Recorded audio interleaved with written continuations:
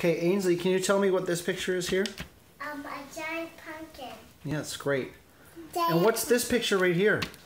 A tree with flowers and there's and there's a chipmunk home, but I forgot to add the chipmunks. Oh, okay. And what's this?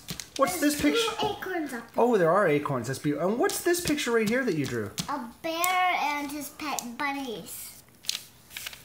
What's up with that bear? Um, the bear is nice. He's nice bear. Yeah.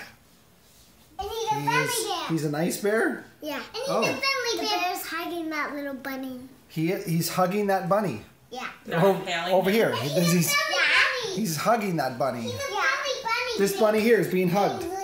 Oh, Is he a okay. bunny? Is he a friendly bunny? Hey. I don't know about you, kiddo.